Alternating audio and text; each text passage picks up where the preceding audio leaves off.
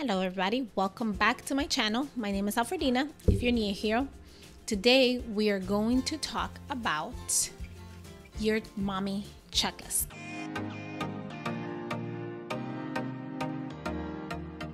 This checklist is for you to make sure that you are being the best mom that you can by taking care of you. When our babies, this list was born when our first was born my husband and I had a list of things for when he cried. Because you know kids cry and you know on the best of days you are preemptive and you're like oh he, he, needs to eat in 30 minutes so you're ready for whenever. But on the busy days sometimes he's crying and you're like okay so we will go down a checklist. When was the last time that he ate? Um, when has he sleep he slept does he need to sleep? Does he need to eat? Is he dirty? Does he need um, to be burped? We had a list of his basic needs to make sure that those were met. And when all else failed, failed, my husband would just like take off all his clothes and you know make sure that there was nothing hurting him. And sometimes it was that now that he speaks we know that he has very sensitive skin and that sometimes his clothes was itching him or something. So that always worked. When everything else failed and he was fed he was burped and he was clean and he had slept that's usually what would do the trick. Just stripping him down and having him on his diaper to like just be himself. Now what does that have to do with you? Well mama you have needs.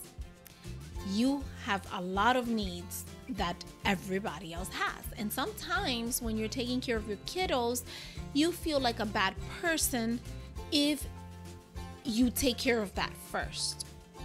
It's kind of like a thing that we would hide out in the pantry and just eat or eat whatever our kids left on the plate after breakfast or lunch or that we just don't eat or don't sleep don't do anything because there's so much to be done.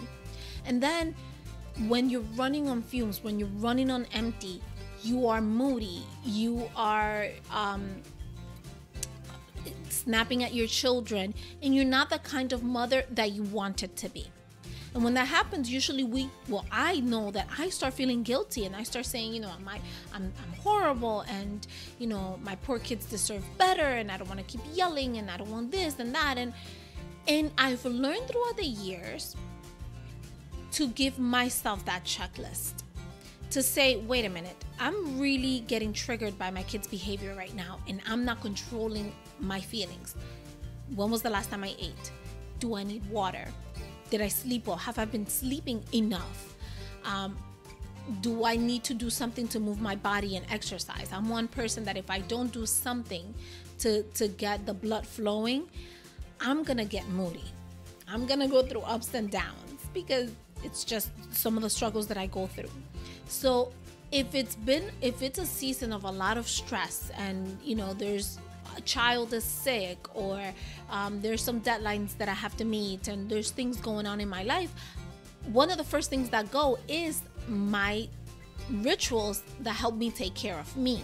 So, going to bed at a decent hour, waking up after being fully rested, spending some time, quiet time with God in the morning, first thing, working out, eating nutritious foods.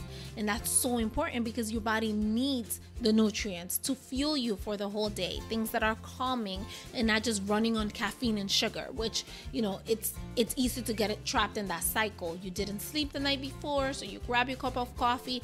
I drink more creamy than coffee with a lot of sugar so i am being fueled on that and that gets me racy and angsty all day so i'm more irritable throughout the day i crash and then i need another cup and then at night i can't really sleep as well as i could if i didn't have all that caffeine and so the next day i need it again and it's just a crazy loop that I'm that I put myself in.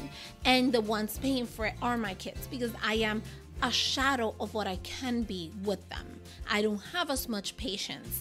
I don't, you know, treat them or me as well as I want to. And so when I feel like I'm losing it, when I feel like I'm having a bad day, I'm having a hard time, I'm just having one of those days, I go through my checklist. What was the last thing I ate? Was that nutritious? Was that feeding me? Do I need to work out? Do I need to just pack everybody and go to a park to get some fresh air?